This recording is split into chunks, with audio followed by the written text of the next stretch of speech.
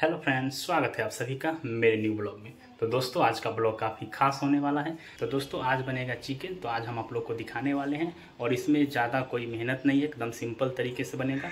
वो आज आप लोग के साथ शेयर करने वाले हैं। तो चलिए किचन में दिखाते हैं। मम्मी बना रही है और पूरा प्रोसेस भी हम लोग शेयर करने वाले हैं। तो पूरा लास्ट तक ब्लॉग को ज़रूर देखिएगा। चलिए दिखाते हैं। तो दोस्तों, आज देखिए चिकन में क्या बन रहा है। आप लोग से शेयर कर रहे हैं। आज जो है चिकन बन रहा है। मम्मी चिकन बना रही है। तो आप लोग को आज पूरा प्रोसेस बताएँगे बिहारी स्टाइल में और बहुत जल्दी बन जाएगा। ऐसा प्रोसेस आप लोग को हम लोग बताने वाले हैं। और इसमें हम लोग कोई मिक्सी का यूज़ नहीं करेंगे। बिना मिक्सी का यूज़ करके आप लोग को दिखाएँगे कि कैसे हम लोग बनाएँगे। तो बने रहिए, पूरा प्रोसेस भी दिखाने वाले हैं इस ब्लॉग में। तो देख सकते हैं यहाँ पे दो के जो है चिकन है, लगभग और इसके लिए जो है यहाँ पे प्याज देख सकते हैं, काट के तैयार कर लिया गया है।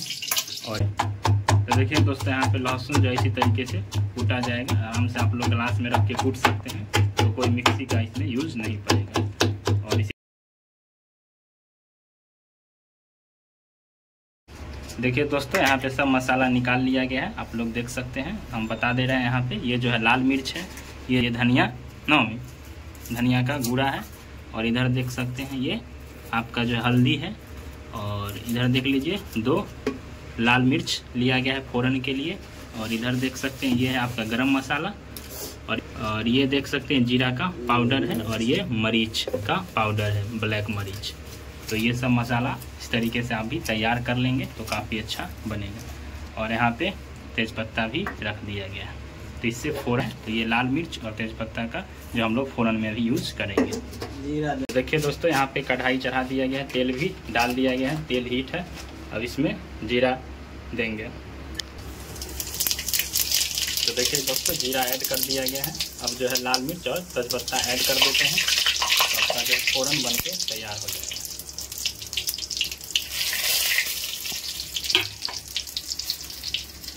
देखिए दोस्तों, अब जो है प्याज भी ऐड कर देते हैं। इस तरीके से आप भी बना सकते हैं, काफ़ी अच्छा बनेगा। दिखाते हैं पूरा प्रोसेस बने रहिए ब्लॉग में लास्ट तक। इस तरीके से सबको मिक्स कर देंगे, अच्छे तरीके से मिला देंगे और कुछ देर इसको इसी तरीके से सीजने के लिए छोड़ देंगे। इस तरीके से आप भी ढक दीजिएगा। और फिर कुछ देर के बाद देखेंगे जब थोड़ा सा प्याज गल जाएगा, उसके बाद आगे दिखाते हैं। तो दोस्तों, अभी बन रहा है किचन में, आप लोग को दिखाएँ, तभी आए हैं, बैठे हुए हैं, फिर चलते हैं, प्याज सीज जाता है, उसके बाद फिर दिखाएँगे। बताइएगा आप लोग को चिकन कैसा लगा, हमारा जो आज बना रहे हैं, और मम्मी बना रही है, हम आप लोग को दिखा रहे हैं। तो देखिए दोस्तों, प्याज जो है यहाँ पे आप लोग को दिख रहा होगा, सीज गया है कुछ तो इसमें जो है नमक ऐड कर देते हैं। आप लोग अपने स्वाद अनुसार नमक ऐड कर सकते हैं तो देख लीजिए, इस तरीके से नमक ऐड कर दीजिएगा। और सबको अच्छे तरीके से मिक्स कर देंगे और कुछ देर और सीजने देंगे, उसके बाद मसाला ऐड करेंगे।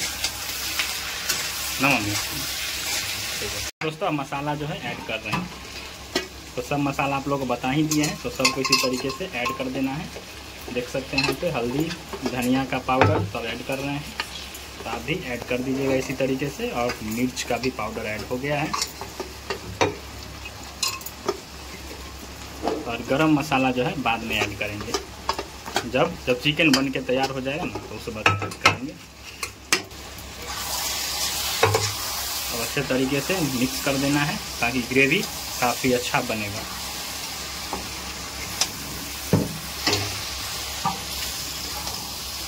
तो देख सकते हैं, सब मसाला को मिला दिए हैं प्याज में। और अब जो है इसमें लहसुन भी ऐड कर दिया गया है। और आदि भी ऐड करेंगे तो दिखाते हैं आप लोग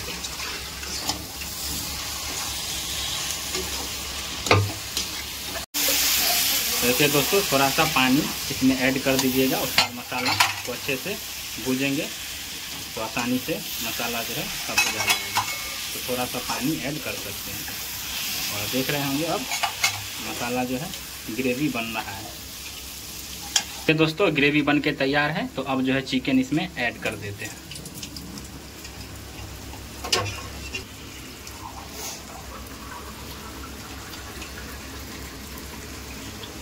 तो इस तरीके से चिकन को ऐड कर देना है।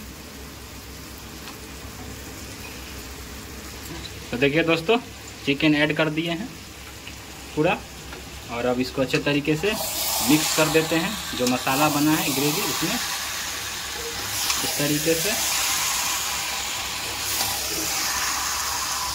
देख लीजिए, ग्रेवी काफ़ी अच्छा दिख रहा है, काफ़ी स्वादिष्ट भी बनेगा।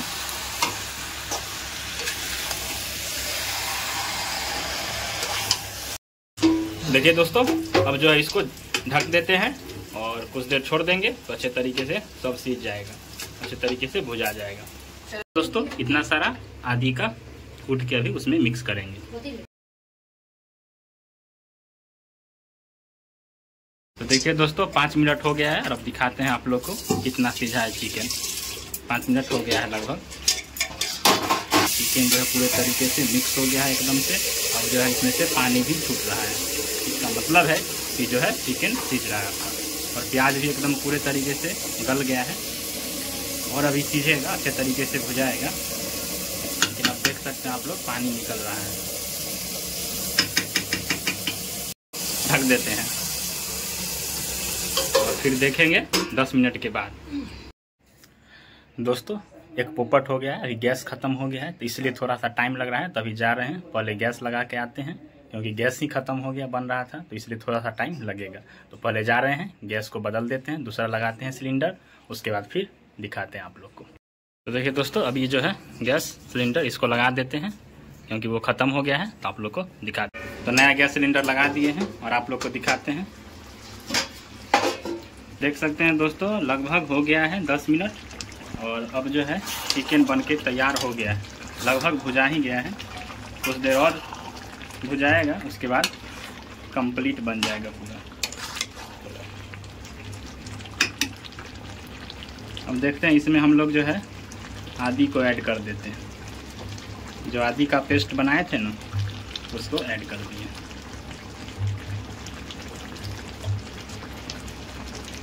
और कुछ देर और सीझने देते हैं।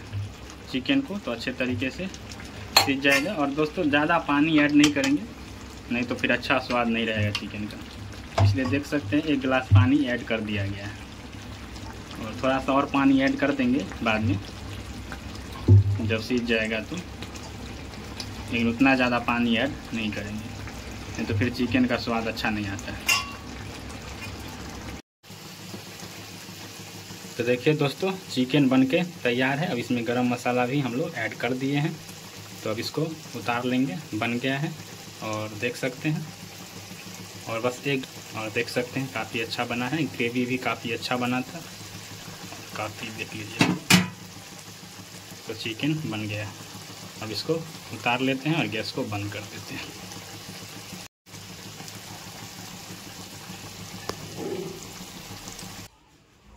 दोस्तों देख सकते हैं, अभी कपड़ा आयरन कर रहे हैं, है ना?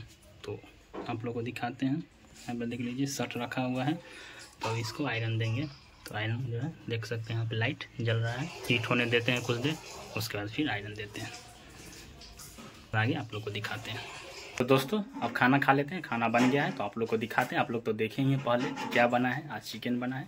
लेकिन चिकन के साथ और क्या बना है तो आता है खाना तो आप लोग को दिखाते हैं और फिर बताएँगे कि स्वाद कैसा है।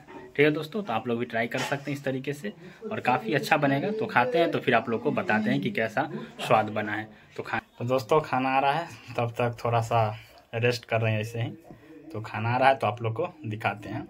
और बताते हैं कि स्वाद कैसा बना है। काफ़ी अच्छा बना है। आप लोग देखे ही हैं, काफ़ी अच्छा तरीका से बनाया गया है। तो काफ़ी अच्छा ही बना होगा। तो आने दीजिए खाना तो फिर दिखाते हैं। देखिए दोस्तों, खाना आ गया है। आप लोग जानते हैं आज क्या बना है। तो देख लीजिए। काफ़ी अच्छा बना है चिकन। और इधर देख सकते हैं, रोटी भी आ गया है।